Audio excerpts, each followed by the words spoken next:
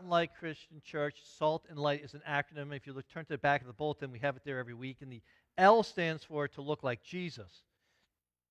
And um, and we live in a time that it's. It, I, heard this comedian this week, he, a Christian comedian. He's pretty funny, and he says, "My sister has on her wallet at her house the verse, no, we are afflicted in every way, but not crushed, perplexed, but not despairing, persecuted, but not forsaken, struck down, but not destroyed. And he said, Yeah, no, he goes up to sister, no, sweetie, it's a great verse, but that verse doesn't really pertain to your no Cuisinart breaking. Uh, he's like, No, we have these verses, and when Paul was writing this stuff, like they were beating him with rods, trying to stone him to death, and then we have these verses up when we face our issues, thinking somehow they're huge issues. And the comedian's talking about, let's look at what Paul's facing. Let's look what we're facing. He's like, should we really be quoting this verse for because our microwave broke or something went down? He said we, we tend to sort of not really live in the realm of God. We live in the realm of our problems.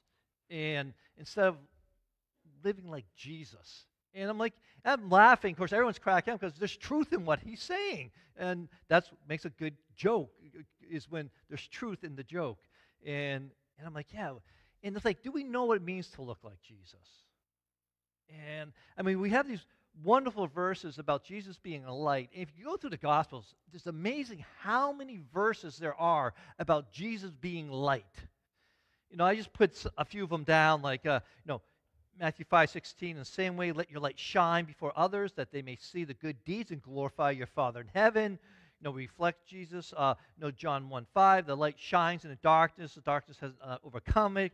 Uh, we know um, John 8 12, again, Jesus spoke to them, saying, I am the light of the world. Whoever follows me will not walk in darkness, but will have a light of life. And following Jesus, being like Jesus, is we're not in darkness, we're always in light. We should never be in darkness, which means we should see things clearly. And, but we have trouble doing that. And I, I heard this interesting uh, uh, stat that's out there that this guy was talking about, and he said, in most denominations, numbers are dropping.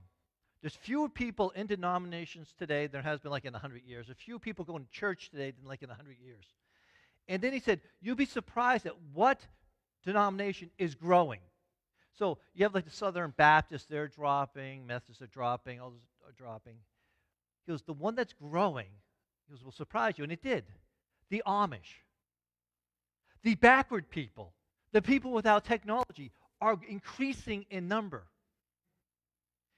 The most uncompromising people are increasing in number.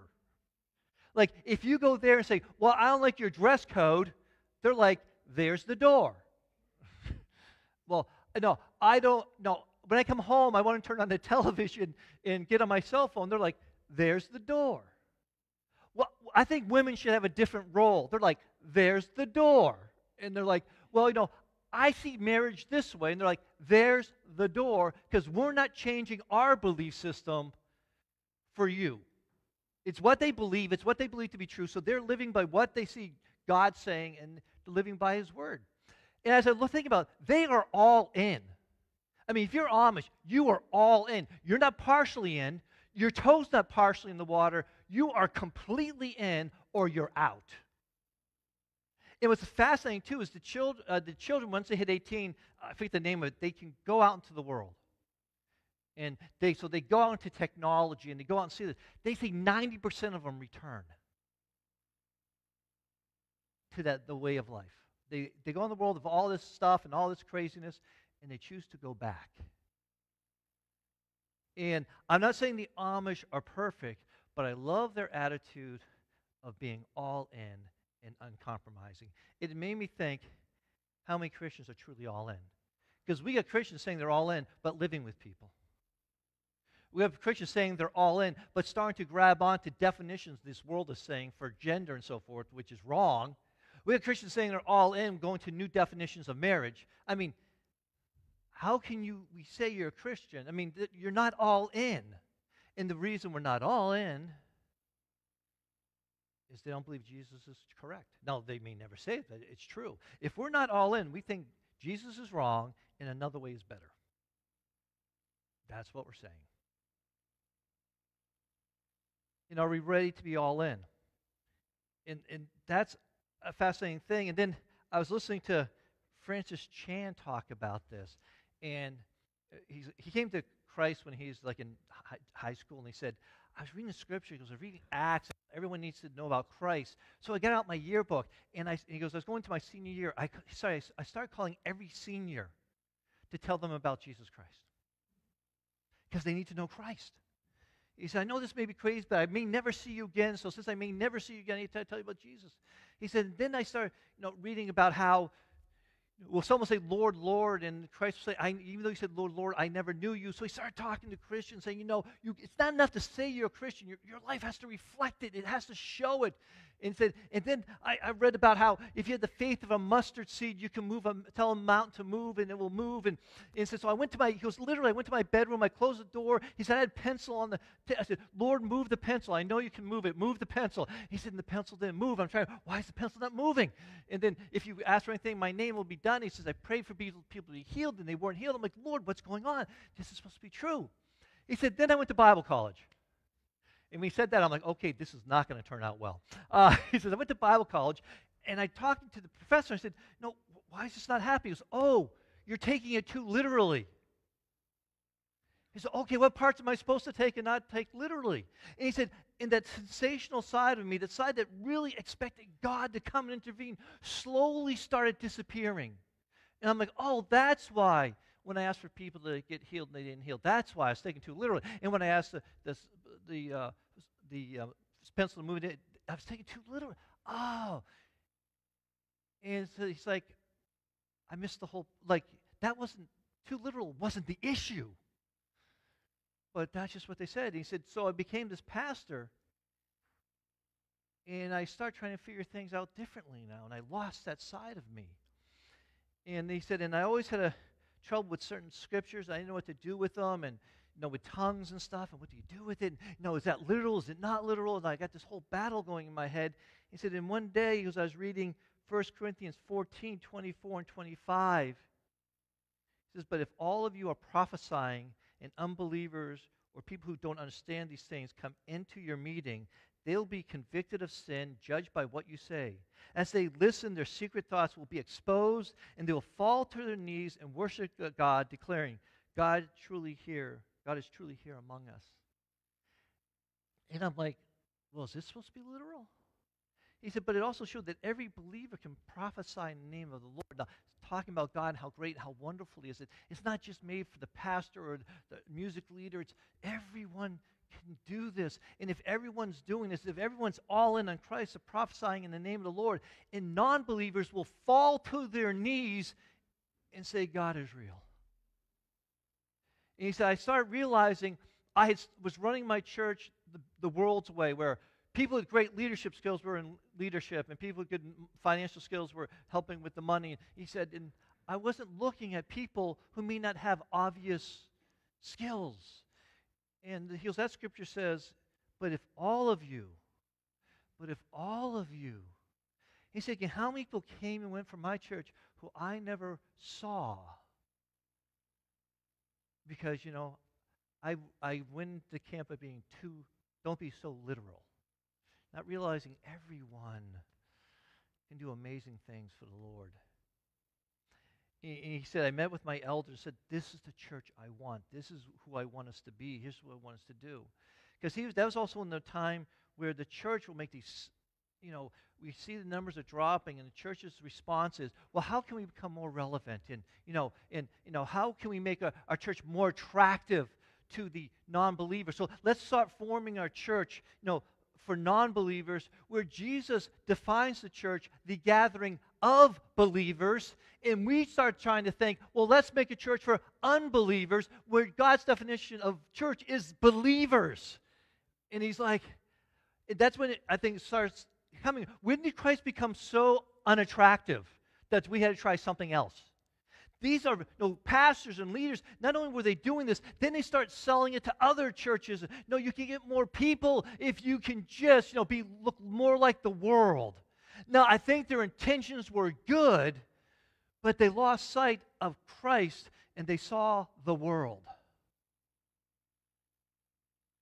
And it's like we weren't all in because the goal became okay, how do we get more? And, and Jesus is like, I'm not telling you to get more into your building, I'm telling you to look like me. And as you look like me, people will see me and will be drawn to me if you look like me, if your light shines. But we can't look like Jesus if we're not all in. If it's just something we do on Sunday or here and there. I mean, our marriages should reflect Jesus Christ.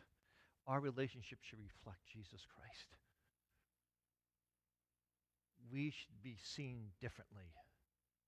Not because they're seeing us, but they're seeing Christ. And today, Jaden made a joke, and he was funny, and but I'm like, oh, that's where it goes with my message I'll use. He said, you know what we should do is make a trap door and get fog machines and start the fog up, and then have no Pastor Jim come from underneath and rise up and, and fog and it, it, it is funny. but then I was laughing at you. I think about it. The problem is some churches have actually done that. I'm like, oh, he's joking, but people have done that. Where all of a sudden the pastor is the center. Oh, look at me. Look how great I am. Look how wonderful I am. You want to come here because of me. And Jesus is always like, no, I'm always the focus, not you. He said, and, but churches have done this and people have gathered in the thousands to see this and behold this. And like, oh my goodness. And I said, you know how strong a church is, is if the pastor leaves and the majority of the people leave, the church is based on the pastor and not Jesus Christ. And to be all in, funny. I was listening to a TED talk, and it was really fascinating. Chris says, "Oh, I have that book." I'm like, "Okay, I'm gonna have to read it now." But I'm already reading three other books. I gotta get to it. Um, but this woman was talking about they're trying to figure out how who was going to succeed. And they went to West Point and they went to this National Spelling Bee.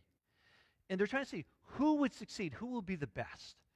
And they, she's using this incredible formula and, and scientists and all that stuff.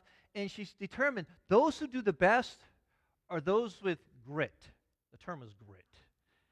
And I'm like, fascinating. And she's starting to define it. But grit is a person with this tenacity in them who doesn't quit, who doesn't look at today or tomorrow. They're looking at next week, next month, next year, and they know at times it's going to take a while to get somewhere, so they stay in it. They just keep going. And when they fail, they don't see it as failure. They see it as an ability to go to the next step and to learn and grow. And they're just tenacious and they keep going. And the woman's talking about it. And I'm like, You're talking about Jesus.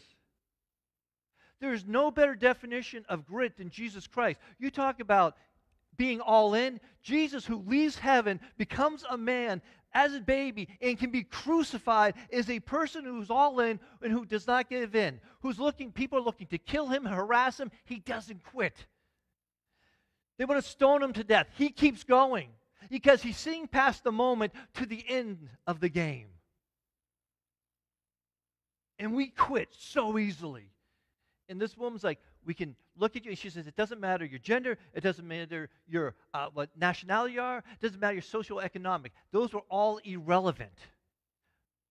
Grit came just down to this personality trait. And so that's what we had to look at. So we didn't care about anything else. If they had grit, they were going to succeed. But grit people are all in. And, and it frustrates me that people always look at Jesus the wrong way, and they always make him this, you know, this soft thing that walks around and quotes scripture and bless you and bless you. Jesus was tough as nails. I mean, he was amazing. He goes into the belly of the beast and he keeps going. I mean, I like the verse where I think it was in Judea and they're trying to stone him to death and he slips away. And later on he says, We're going back to Judea. And his disciples like, But Jesus, they, they want to stone you there. And basically, Jesus is like, Yeah, what's your point? Well, we can't go back there. And she's like, What's your point? We're going back there. He wasn't afraid to go back in to people who were going to stone him to death. I mean, we get in an argument with someone and we see them at the grocery store. We go down a different aisle than they're down because we don't want to see them. And Jesus goes back into the place they wanted to kill him. Why? Because he sees past the moment they need me. They need the message. And I'll go back there.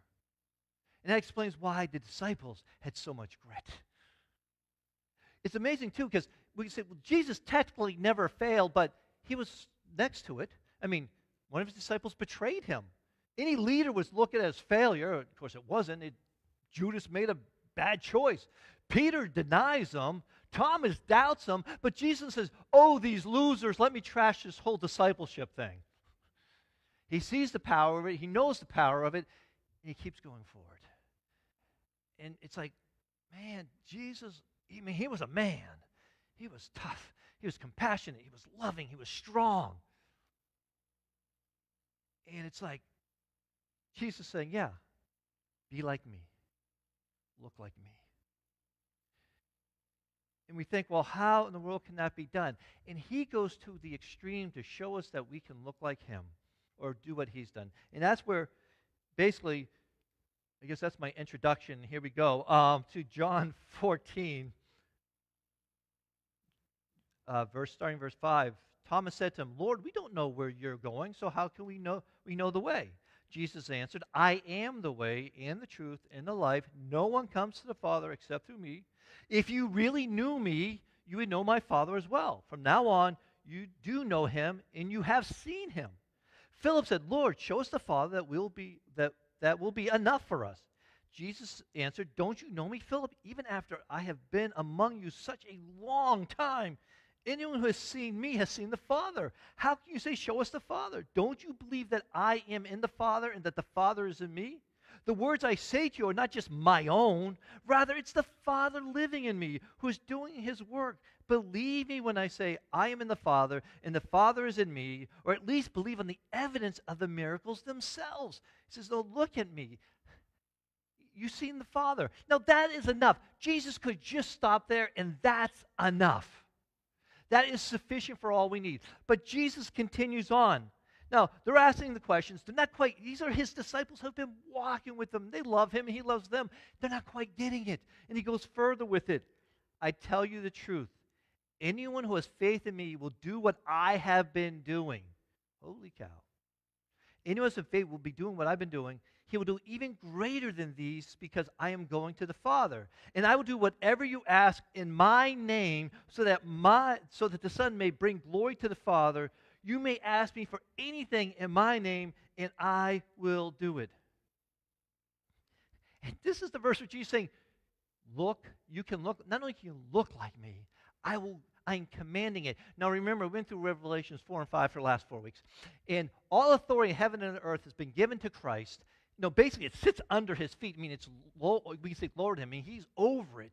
And the, the, the Jesus Christ is over all and is all is saying, You can do what I have been doing. I don't know, besides his death and resurrection, I don't know if there's been a greater promise given by the absolute authority than Jesus Christ to say, You can do what I'm doing and he gives that to us. And, and then he goes on, we can look at John, he goes on with it, John 14, 15 through 17, where he's like, well, how can this be possible? How can we do what you're doing? And he's, he, without them asking that, he knows what they're thinking. If you love me first, you'll keep my commandments, and I will ask the Father, and he'll give you another helper to be with you forever, even the Spirit of truth, whom the world cannot receive because it neither sees him nor knows him. You know him, for he dwells with you and will be in you.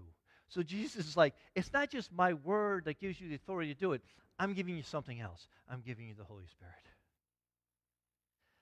What else can he say to tell us that we can do what he says is true? There's nothing I mean, there's nothing else he can do. I'm going to dies, he resurrects, he gives us the Holy Spirit, and he gives us his word. Is there, are you all in though? Do you truly believe it? Well,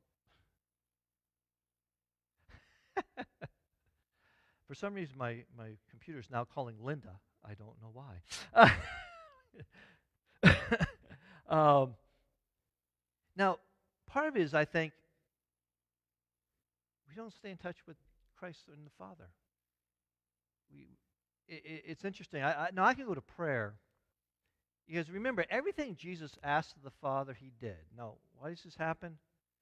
Because he knew the Father, and he did what the Father told him to do.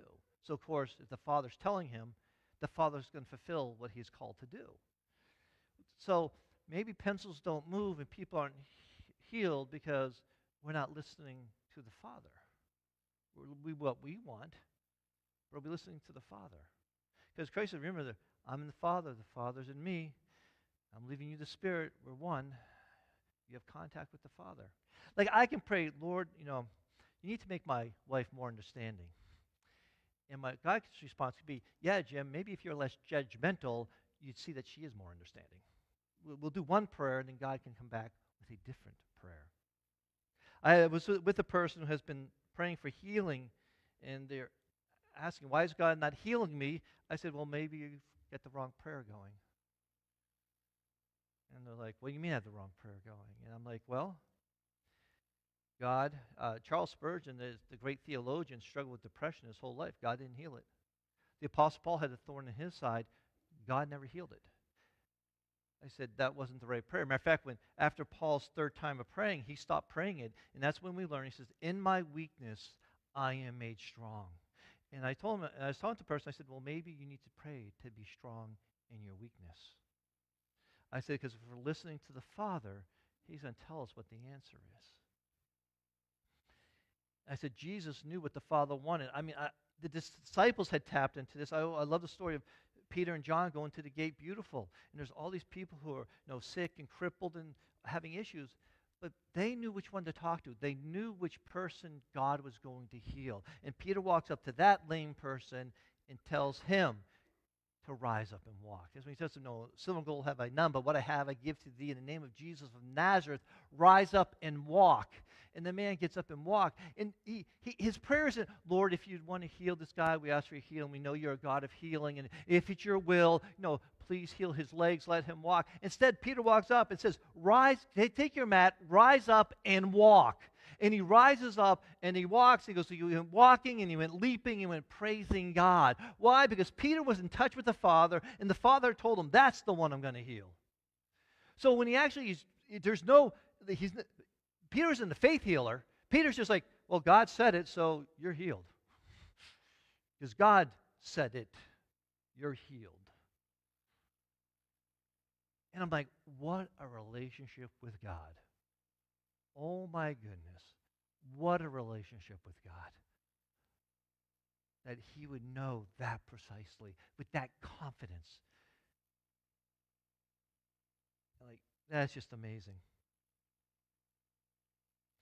And if you, the, one reason people were attracted to Jesus and to and they're attracted to the disciples who showed Jesus is these guys were all in. I mean, you don't take that type of harassment and persecution if you're partially in. They're like, man, these guys are onto something. No, they're onto something that seems to be real because they're willing to give everything for it. And they're seeing something there they do not see in this world. And they want it and some are afraid of it, and some hate him. I mean, some hate, hate Jesus because, well, you're taking away our authority. That's right, I am taking away your authority. It's God's the authority, not you. He's the authority. But we like being partially in.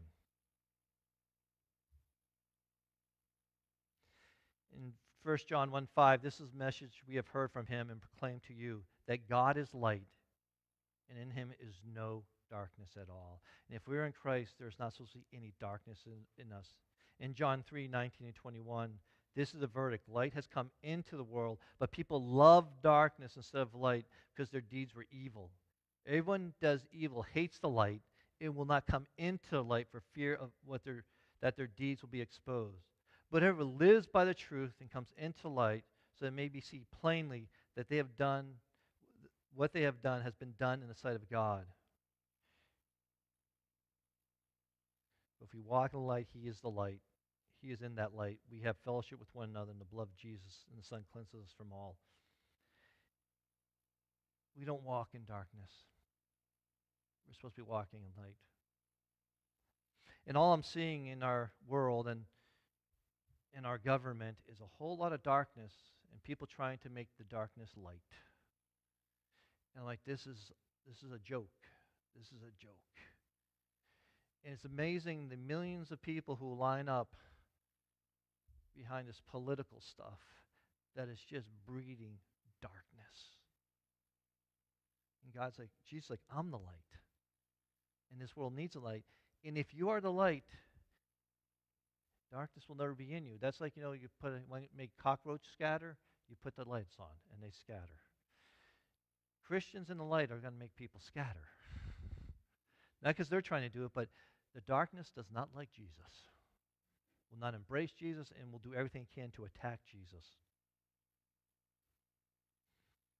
And the light has an amazing way of doing that. I, and when you see people do it, when bring the light, it's amazing. And, but we also have, we have trouble bringing light we, to people. And uh, uh, the book I'm reading about Jesus, this guy who's writing is uh, the guy is fascinating. He spends a lot of time with Muslims and Jews and just loving on them. And he says, I was at a because I was at a uh, coffee shop and this guy's walking down the street and he's carrying a cross. He has a bullhorn. He's yelling, "All the perverts, gays, and Catholics are going to hell." And I'm like, "Oh," he's like, "Oh, dear Lord." And someone went outside and punched the guy in the mouth. And I'm like, and the guy gets up and says, "Well, if you're not being persecuted for God, you're not doing it right." And I'm like, uh, "This is not how God does it." But the, the guy sitting there like, why do we do stuff? Why do we always go to the darkness or to the the tough stuff? Or the uh, he goes like people he goes love, he, i'm on the same boat with him. Where he says why do people start with you're going to hell you don't have to. Jesus is love. There's so many wonderful things about that but instead of going to that and sharing this wonderful love we have to start with you're going to hell you don't have to. So we go to the fear side instead of the love side. And so he he's telling a story. He goes, Yeah, I was with this, um, he goes, I was doing this Bible study. Well, because I was doing a study with all Muslims. And we're going through the book of Luke. And they're not Christians, they're Muslims. He says, I'm just sitting there and we're talking Luke, we're discussing Luke, and I'm loving it. And, and this guy walks in and says, This guy thinks Jesus Christ is the Savior. Do you realize who you're talking to? And the guy said, I've learned in those situations say absolutely nothing.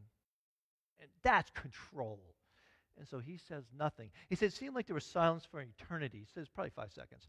He said, and then one of the guys, one of the Muslims says, you know something? We were having a great time talking about, the, about Luke until you got here. So won't you either join us or leave? And I thought, that's God in action.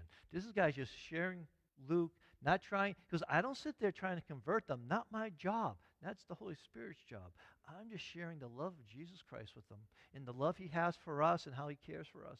And he said, and one of the gentlemen, he said, I don't call, he goes, I don't call myself a Christian. He's because it's too much negative. They say, what are you? He goes, I follow Jesus. I'm a follower of Jesus. I'm not a Christian. I'm a follower of Jesus. He goes, it's just a term I prefer. And so I'm at this house, and this, this guy and I were talking, and you know, he's Muslim, and he's like, well, you're one of those Christian guys. And his wife walks in. As his wife walks in, he said, Do you have any kids? And his wife, Oh, yes, we do.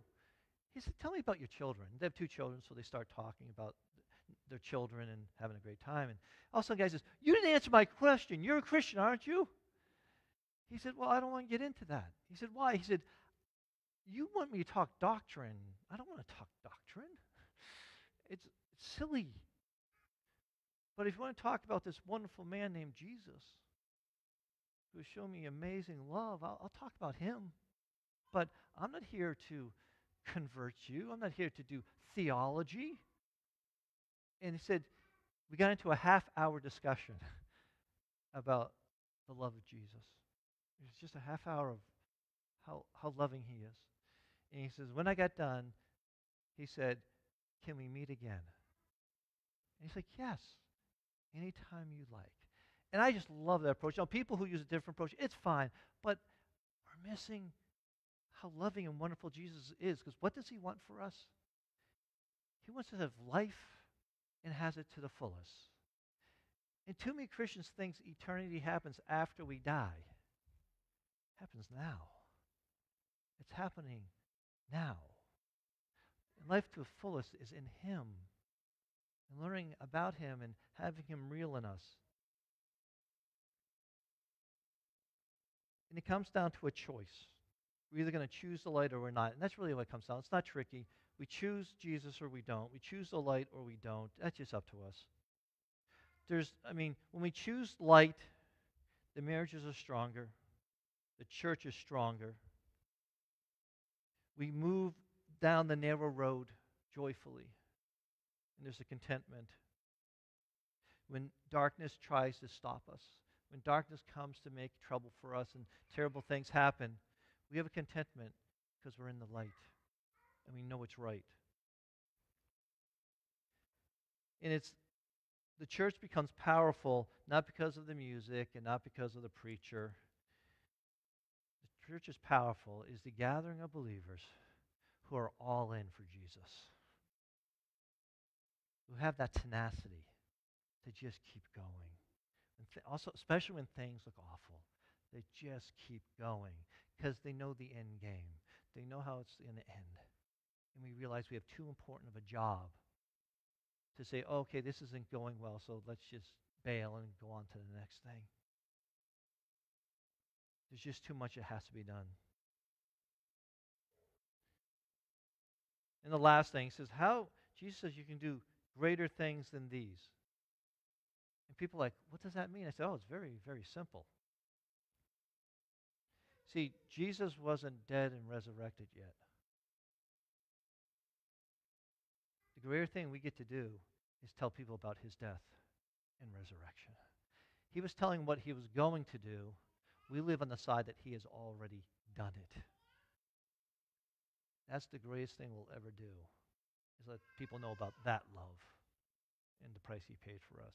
But we can do what he has done. I don't know if Christians really believe that.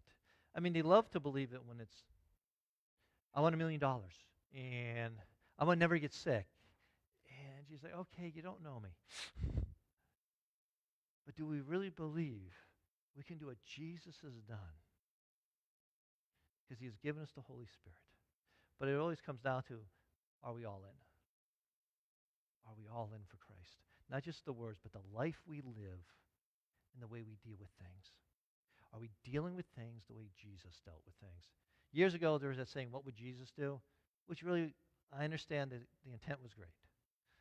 But I'm like, why, was, was, why wasn't it, what did Jesus do? Let's just do what Jesus did. Or Mike likes, what will Jesus do? Because he tells us what he's going to do. When he said, what would, I have to put in what I think. As soon as I put in what I think Jesus would do, we're on a bad road. as soon as it's what I think he would do, we're in trouble. Comes out, what did he do? What is he telling us he's going to do? That's just where we need to live. We live there. We'll know how to handle situation. We'll know how to handle difficult people. We're going to know how to handle things when go terribly wrong. Because we're just going to follow Jesus' lead and do what he did. And so, and the wonderful thing is we don't have to do one thing he did. We don't have to be crucified. He died for us while we we're still sinners. He gave up all for us. He gave up his life so we could have life. He gave his life so we can have life. What a beautiful thing. And we come to his table confessing our sins because he is faithful and just to forgive us our sins and cleanse us from all unrighteousness.